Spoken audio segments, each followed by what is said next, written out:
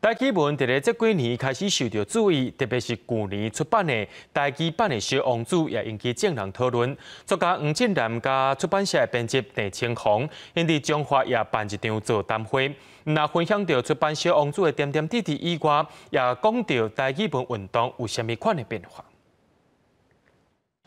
去年台湾出版《小王子》第二版引起不少讨论。杀出《小王子》第二版的出版社主编郑清红和负责审定的作家吴进南，透过讲座和民众分享第二本运动的历史和未来发展。有人提要求讲今日爱转台语对吧？当然，讲这讲这主题应该是爱转台语无对啦。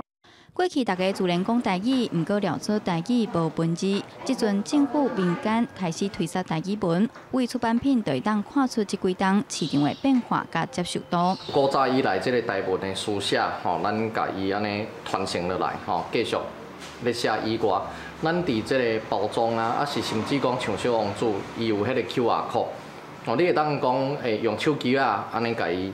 扫者，啊，你就会当听到听到专业的配音员。我感觉这拢是台语的这个册专册吼，一个新的一个管道。过去台语的出版品常常有人反映看字看无，面对未晓读台语文的读者，要安怎提供因台语文的阅读？有声册就是一种方式。所以以早其实都有做台语文的有声册这个传统伫的，吼啊，毋过因为旧年开始。咱拢讲是 Parkes 观念，吼，Parkes 开始实行了，大家对有声的这个体验，吼，甚至是讲对有声册这个需求愈来愈大，所以其实大家找做有声册，伊毋那是过去的一个传统，嘛是未来一个趋势。除了有声册，地瓜段也是家的第一本创作品质嘛，豆豆啊提升。黄正南讲，这是因为大家互相鼓励、互相影响，才好新的创作不断出现。未来嘛，毋望透过这这创作专业，和第一的表现形式有更较侪无共变化。